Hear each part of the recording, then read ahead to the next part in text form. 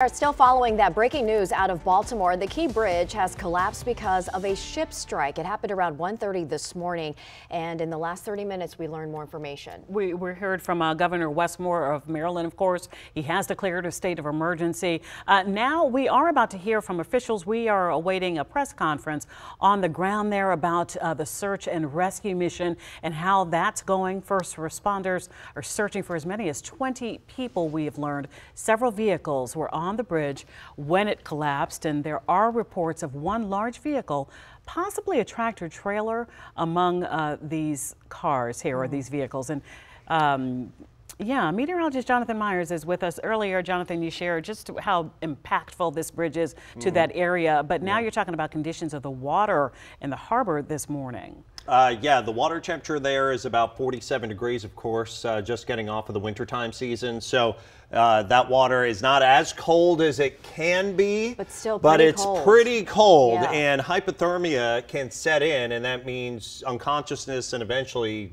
you know, uh, potential fatal conditions. Dangerous uh, hypothermia with um, uh, unconsciousness about 30 to 60 minutes, mm and then uh, you know uh, fatality can occur in as little, little, as one to three hours, if not rescued. And of course, we're talking about a 185 foot drop off of the bridge, and you, you just got to think about this. I mean, it's horrifying. A, a normal, and that's the distance yeah, from the, from the top, you know, from the bridge deck down to the water. Right. So you just, I mean, you got to imagine the size of a person, you know, 5 mm -hmm. six feet, and the multiples yeah. of how tall that is. So I mean, you have to fit container ships, you know, cruise size ships right. under this bridge. This is the main access here to the Inner Harbor, one of the busiest ports mm -hmm. in the United States. So you, you were talking uh, about, and you were talking about the timing, and this happened. We know about 1:30 this morning, 1:30. so we're coming up on about five hours since yeah. uh, since this happened. And, and I mean, I guess the the one.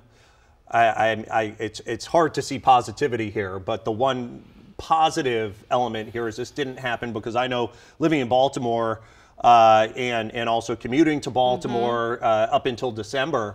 Um, you know, I'd been there 12 years. Uh, this is a big pinch point, big busy spot when folks yeah. don't want to take mm-hmm. 95 and 895 during the morning commute because it's too crowded, too busy. Uh, there's two tunnels, uh, two sets of tunnels that go under the water there uh, to uh, get around the city and, and to kind of cross through. They take 695 and they take the Francis Scott Key mm -hmm. Bridge. I mean, there there are normally traffic jams here. Uh, you know, eight o'clock in the morning, five, six in the afternoon, evening. So this bridge could have been. I mean, we're talking. You know, maybe seven, maybe as much as 20 people right, at this right. point. Unconfirmed uh, reports here, but there could could have been an entire bridge full, full of, of cars. Yeah, oh, yeah. because um, we just assume that things will Work go the way they're supposed to go. Yeah, right. Right, right. Exactly. And that's what uh, the sentiment was of the gentleman that Jess Arnold spoke to is that he, you just don't imagine something like this right. happening Ever. to a structure uh, like a bridge. And you think about all the people that take this every day and they're waking up to the news that it, it's no longer there. I mean, it is and a this, shock. This, and I mean, this is an iconic thing in, in you know when when when when when the news tosses to traffic. This is one of the things they show every day. These are the you know it's when we show shots. the Skycam right. beauty shots yeah, here on absolutely. the news. That's one of the things they show. So right. I mean, yeah, this thing is a part of the skyline. It's really. Mm -hmm. Uh, really a sad day for Baltimore. And uh, obviously, it's all hands on deck out there. They have a massive response to this. And Jacqueline Quinn mentioned that they are partly waiting on some daylight, the sure. sun to rise, so that they can get a better look at what mm -hmm. they're mm-hmm. dealing with. Um, they're diving teams out there right now. They have multiple agencies involved in this. But what time does the uh, the sun rise this uh, The sun rises about 7 o'clock this morning, so that's when we'll get a better picture of what's going on. But you could even see uh, in the helicopter spotlight, mm -hmm. the, the bridge deck kind of in, in, the roadway, it's just stark to, to see the, the roadway lines, right. you know, the dotted white lines laying across yeah. the top of that ship there. All that uh, debris. just unreal. And uh, to think that they're actually vehicles tossed into the water. And actually, I did some research. I believe that the uh, ship channel there, uh, where the ships are, are going, go, mm. supposed to be going under the bridge, uh, you can see it looks like that ship obviously was outside of the channel. Right. Um, is is about 50 feet deep. So um, mm. it's it's going to be tough, I think, to find find survivors in this uh, story, but I, we, we can My goodness, obviously have prayers out absolutely. here. Yeah, absolutely. Uh, yeah, and you know, there I can just uh, see how long an investigation like this is going to take because you're right, the ship looks like it's to the, depending on how you're looking, uh, to the right of where it should have been, what happened here. Um, you know, so I'll, I'll look forward to all the facts when they come out. But first and foremost, just hoping that, uh, probably beyond on all hope, I understand that.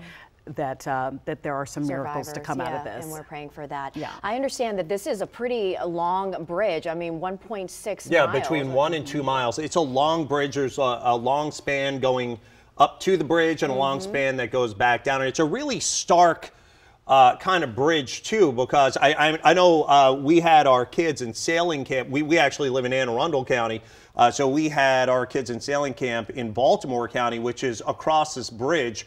Uh, and this was back uh, two summers ago and three summers ago. So we had. Uh, you know, a full, you know, 60 days or so per summer that we're going, Mm-hmm. Going back, back and, and- forth right, on this bridge. And my right. wife would say she would she would take the tunnels because she did not want to deal with going over that bridge. Just because as you're going up this bridge, you're going from basically flat wetlands up to 185 feet. So you're going up these ramps, and it's you're really aware Sure, that of you're- how high up you're ascending, you're right, going. yeah. So um, And you know, now I could those- just imagine Those tunnels, Terrible. we reported earlier, because of out an abundance of uh, caution, those tunnels are closed this morning. Really a state of emergency, um, as the Yeah. governor has, has mentioned, in that whole area. Right. And, and just a moment to stop and maybe reflect, because can you imagine if this was your way into work every day, or you worked the overnight Sure. shift, you're just trying to get home, or what have you, that this is, uh, this is what happened. And it's not just the bridge that has the impact, it's what's Yeah. around it as well. I mean, this is one of the busiest ports in Mm-hmm. the country. and that's one of the main accesses. If if not, I've got to do some research, but uh, I believe that may be one of the only accesses uh, to get into the Chesapeake Bay to get out of the uh, Baltimore Inner Harbor. That's the mouth of the Inner Harbor right there. So now you've got this mangled. Uh, bridge and debris that's across that whole channel. And, and remember, uh, we, we, we spoke about this. It took five years to build this bridge. Uh, and, you know, it came down And it's so a quickly, relatively but to new, clean this up a here- relatively new bridge, though. 1977. Right. You know, and the scheme, our infrastructure, as we know, across the country, uh, could use a little tune-up for a lot of bridges and roadways. And this one, it struck me, is relatively, uh, relatively new in the scheme of things. But again, this uh, ship perhaps not traveling where it should have been traveling, and that's we'll all figure out that And- uh, when the investigation continues. But a lot of things went wrong, I guess I should say. And you know, if you've driven, uh, uh, driven even a, a small personal boat, if you see something ahead of you, uh, and and you want to get out of the way, it's not like a car. You can't just press the brakes and you stop. Right. So and you I can't could turn even, around once you're up there. Yeah, uh, I mean, it, if if this were you know a, a situation where it's this thing is coming out of the dark. Uh, and they're they're seeing what they're they're headed toward. Uh, this ship really didn't have a chance to, to get out of the way. Again, we are awaiting a press conference um, from officials in Baltimore, right there on the ground, just to, to, to give the, uh, the press that is gathered, uh, and surely people also who want to know what's going on and what next steps there are, uh, to give an update.